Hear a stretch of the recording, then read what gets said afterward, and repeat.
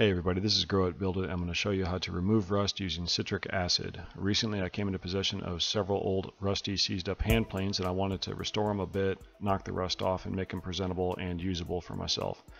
And uh, I researched it quite a bit. I got a detailed article on our website, growitbuildit.com, as to why I chose citric acid as opposed to evaporust, uh, electrolysis, vinegar, all that.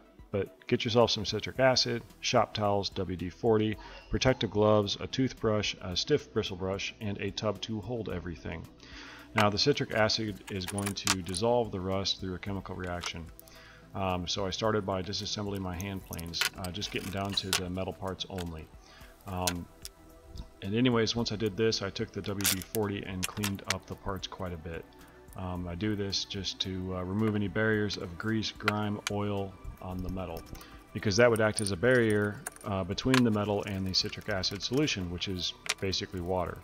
But once you've uh, done all this and cleaned them up quite a bit, you need to make your solution. So get uh, hot water and put in a quarter cup to a half cup of the citric acid and mix it up well.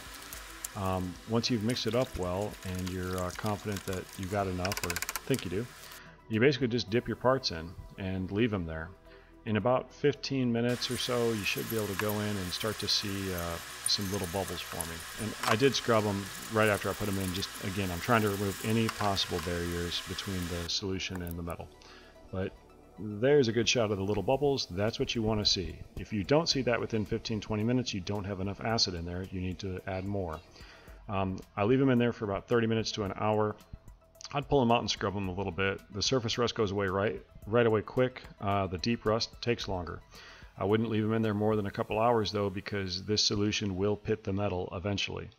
Um, so just kind of you know do it once you're done dry them immediately and coat them in oil I used three in one you could use mineral oil but overall I was very pleased with the results uh, they looked totally very much much better than when they started. Um, but again our website growitbuildit.com will have a detailed article on why we did this and uh, more info on how you can do it.